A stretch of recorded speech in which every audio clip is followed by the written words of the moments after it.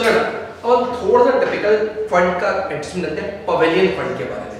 बेटा pavilion fund मतलब क्या? लेट से हमारी एक ऑर्गेनाइजेशन है, हम कहते हैं, लोगों को लेट से अगर हमारा ग्राउंड है तो हम ग्राउंड के लिए पवेलियन बनाने के हैं। पवेलियन अब पवेलियन बनाने में खर्चा बहुत सारा होता है। तो इसके लिए मेरे को बहुत सारे क्या मिलते जा रहे हैं? डोनेशन एंड एक्सपेंडिचर बहुत सारे मिलते जा रही है। सबसे पहले लेट से मैंने खुद ने पवेलियन फंड में लेट से डाले कितने रुपए बेटा?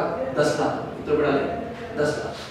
अगर मैं देखो बताऊँ कि हमारे पवेलियन के लिए हमको क्या है डोनेशन कितना का 3 लाख। अब इस पवेलियन फंड की मैंने क्या वाली पवेलियन फंड इन्वेस्टमेंट मैंने 10 लाख की क्या कर ली बेटा? एफडी ठीक है बेटा? अब इसमें एक बहुत अच्छी बात है कि पवेलियन बनते हैं। इस साल में 10 लाख डाले, फिर डोनेशन आया, दो, तीन लाख का। अब हमने पवेलियन बनाना शुरू करा। अब मेरा आधा पवेलियन बन चुका। है लेट्स से अगर मैं इसको बोलूँ कि जितना मेरा construction of pavilion pavilion work in progress work in मतलब 5 लाख रुपए तक तो मैं डाल चुका हूँ। पाँच लाख रुपए तक तो मैं क्या डाल चुका हूँ? डाल चुका हूँ पवेलियन में और आधा पवेलियन बनने मतलब जो मोटा मोटा पवेलियन बनते जा रहा है। अब मैं तुझे एक बात बता अब इसमें बहुत ध्यान सुनो। लेट्स से हमारी कैपिटल है पचास लाख बिज़नेस की कैपिटल कितनी की थी? पचास लाख की। हमने पवेलियन फंड बनाना था हम दस लाख बनाया, हमको डोनेशन आया, तीन लाख का कॉमन ग्राउंड को बोला था कि सब लोग यूज़ कर पाएँगे। इसलिए हमको बहुत सारे क्या है डोनेशन है। तो कितना टेन प्लस कितना? थ्री थर्टीन लाख का भी हमसे। अब पवेलियन हमारा वर्क इन कितना हो चुका है? पाँच लाख।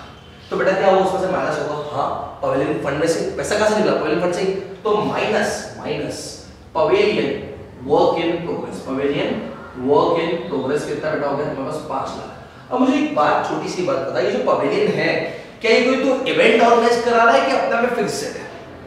ये तो इवेंट के लिए फंड नहीं बनाया ये पवेलियन तो सालों साल तुम्हारा हो जाएगा। तो एक बात ध्यान रखना जैसे ही वो पवेलियन आपका क्योंकि फिक्स एसेट है तो यहाँ बनते हुए दिख भी रहा है। तो आप वहाँ से तो माइनस करोगे, लेकिन आप उसी चीज़ को हाथों हाथ कैपिटल में ऐड कर दोगे, क्योंकि जो पवेलियन अभी तक धीरे धीरे डोनेशन मिलते सामाजिक था। जितना जितना वो बनते जा रहा है, उतना उतना वो तेरा खुद का होता जा रहा है, वो कैपिटल का पार्ट होता जा रहा है। सर क्यों होता जा रहा है? जैसे एग्जांपल लो किसी ने मंदिर बनाने की सोची। कॉलोनी में मंदिर का एक फंड बनाया। अब मंदिर का फंड बनाया तो मैंने दस हज़ार दान करे इसने बीस हज़ार दान करे तीस हज़ार दान करे तो अगर वो फंड के नाम से जिसने जितना दान रखा उनके नाम से तो क्या दिख है? लाइबिलिटी जब वो मंदिर बन जाएगा तो क्या हम बोलेंगे नहीं कि दीवार हमारी है, वो दीवार इसकी है, दीवार इसकी है? क्यों पुजारी की हो जाएगी। वो जो भी होगा, वो पुजारी का पूरा हो जाएगा। तो जिसका भी वो इंस्टीट्यूट है, वो उसकी कैपिटल में क्या हो जाएगा बेटा? ऐड हो जाएगा। तो ये ध्यान रखना, जितना पवेलियन बनते जाता है, उतना वो कैपिटल फंड में ऐड होते जाता है। पवेलियन फंड था, उसमें डोनेशन आया, उसमें खर्चा हुआ, जो खर्चा हुआ वो कहाँ पे आया? एसेट में आया। पवेलियन फंड इन्वेस्टमेंट का में एसेट में आई। और जितना भी खर्चा होते जाएगा, जितना पवेलियन फंड बनता जाएगा, उतना वो कैपिटल में ऐड होता जाएगा। तो यहाँ पे पवेलियन वर्क इन प्रोग्रेस के नाम से प्लस पाँच लाख हो जाएँगे तो पचास प्लस पाँच कितने हो गए?